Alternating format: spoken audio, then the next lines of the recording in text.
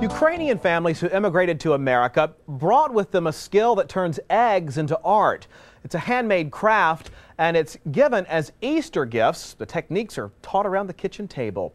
In this week's Experience Delaware, we meet a Dover woman whose Ukrainian art was recognized in a quintessentially American way. That first strike of the match and the candle is lit, you just feel that this is it, it's time again. And even to this day, when I do that, I just, it takes me back to the days that we made these eggs together as a family.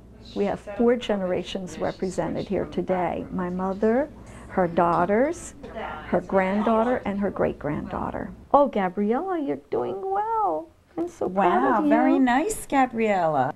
We make what they call pisamki. Americans would say pisanki. Many people assume that the patterns and designs are painted or with a brush, but in actuality they are applied with uh, melted wax. Always remember to keep your stylus hot. We obtain the colors for the egg by putting the egg through several dye baths.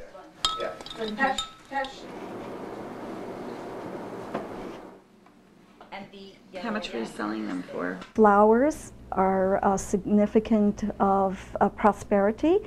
Roosters and birds would be your fertility uh, signs. The art form is uh, usually taught by a mother to her daughter.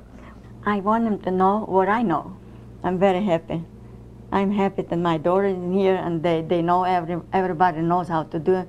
In um, 1940, my mother and um, my father were uh, taken as slave laborers from their village in the Ukraine and brought to Germany after the war. I was born in the refugee camp in Salzburg, Austria. There was a family in the refugee camp that my mother got to know very well, and uh, they promised her that when they returned, when they come to America, they would send for her. And it took six years, but it happened, and we came to Philadelphia. This is what the Ukrainian people mostly had when they came to America. All they had left was their strong faith in God and their traditions. In 1994, First Lady Hillary Clinton started the custom of displaying an egg from every state during Easter. I've been to the White House three times for 1999, 2000, and 2001. So the first egg I made had four blue hens on it. The second egg was the state flower, the peach blossom. And then the third egg, I wanted to put down um, Amish artwork because we have a community of Amish here in Dover. I had no words to describe how I felt and uh, such pride for an immigrant because here I am, you know, just doing my own artwork and it, and it was sent to the White House in the Ukrainian saying, as long as Ukrainians keep making pisamkit, good will prevail and evil will not take over.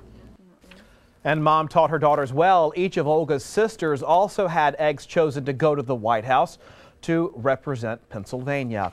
Turning